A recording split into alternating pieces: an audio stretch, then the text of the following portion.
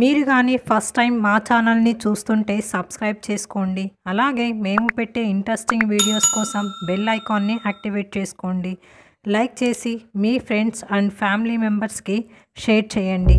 ఈ రోజుటి ఇంట్రెస్టింగ్ వీడియోని చూసేయండి.